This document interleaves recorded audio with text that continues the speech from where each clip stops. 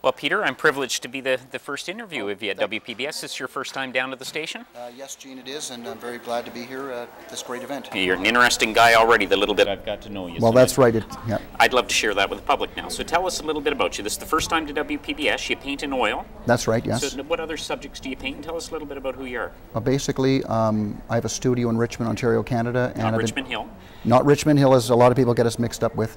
And uh, I've been painting for 10 years, and uh, I work with original, I work with oil medium, and I do uh, giclée prints and cards and other things like this. And uh, uh, my studio is in my home in Richmond, and um, basically, Is it open to the public to your studio?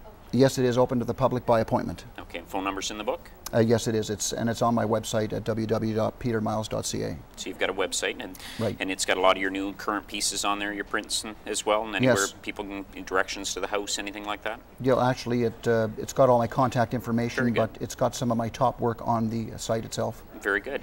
Now you said you paint in oil, and, and Yes. obviously I know what piece you have here tonight. What are the the main subjects that you like to paint?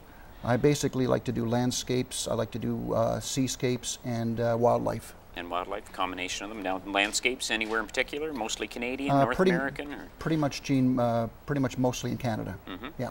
so. Now the wildlife piece that you have here tonight is a, a beautiful swan picture. Yes. You've, you've gotten that's in oil, and this is a giclée. Nice small number that you have on that too. It's an addition of 50 is great, and this was number four, I think. This is four. Yes, correct. so, so nice small number. It's Right. a beautiful little piece. Tell us a little bit about the painting.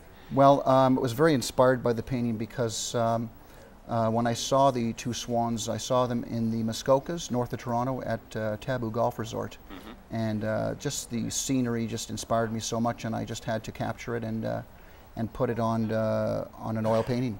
Very good.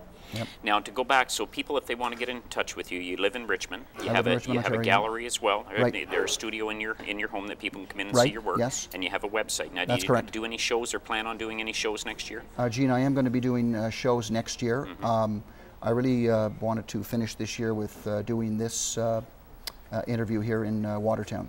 Very good.